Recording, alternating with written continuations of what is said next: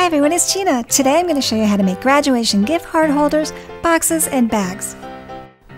The first design is a gift card holder. Download my free pattern. It can be used on either an envelope or a gift card. I used a gold metallic marker to accent the numbers and letters. Cut out a square from either stiff felt or cardstock. And glue it to the card. Cut out a triangle piece out of glittery craft foam for the tassel.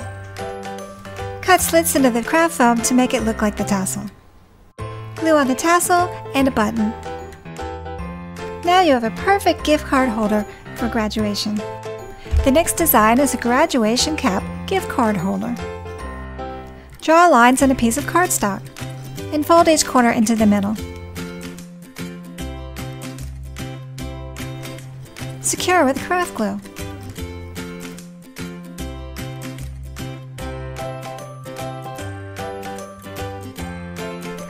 Fold each corner into the middle.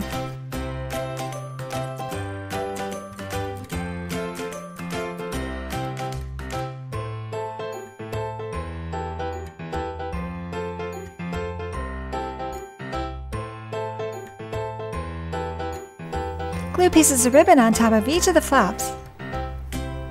Place a gift card inside and fill with decorative tissue.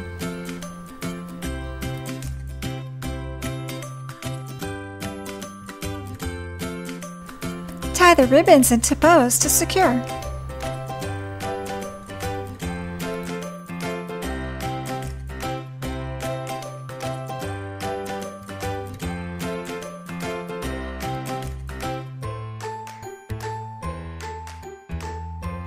Glue on a tassel and a button to finish your beautiful graduation gift card holder. The next design is a graduation cap gift box. Measure the top of the gift box and cut out a square about an inch bigger out of foam board. Cut out another square the same size out of peel and stick felt.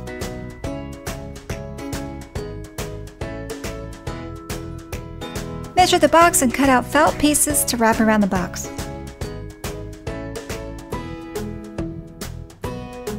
To make the tassel, feed a twist tie through the loops of the embroidery floss. Wrap a twist tie around the embroidery floss and trim the ends.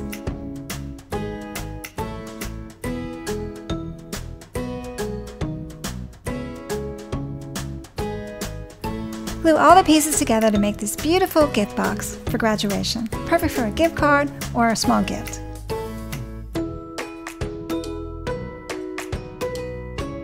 You can also use the same technique to make a decorative cookie tin perfect for a graduation party. Here's an easy to make graduation cap gift bag. Cut out a square piece of stiff felt or cardstock.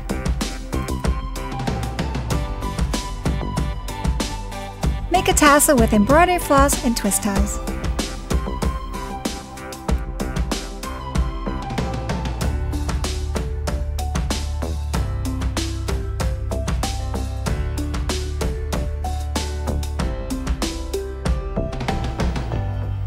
Glue the tassel and a button onto the felt square.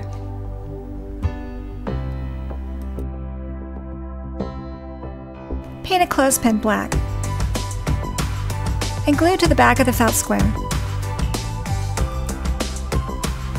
Attach the gift bag and fill with tissue, and you can make these in all different sizes. These make a fun and festive graduation gift. Thank you so much for watching.